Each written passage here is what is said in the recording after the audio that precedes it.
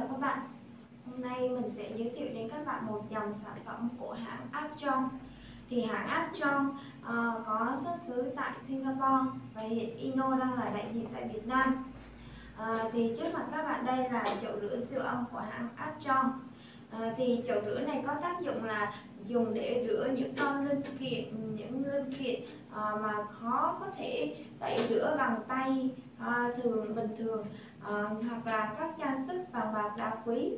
Um, thì chậu này á um, sử dụng những làn sóng siêu âm uh, phát phát ra làn sóng siêu âm uh, tạo ra những, có trong nước để tạo ra những bọt sóng li ti lên lõi vào những chỗ khó rửa nhất uh, để đánh tan những bề mặt khó rửa đó. À, thì à, với thiết với thiết bị này á được sử dụng trong các phòng lab rất là nhiều.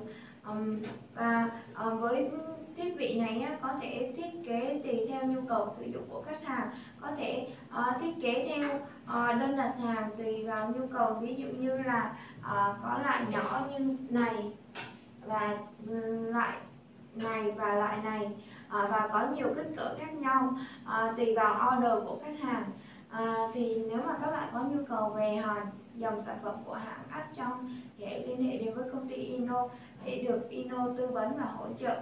Xin cảm ơn.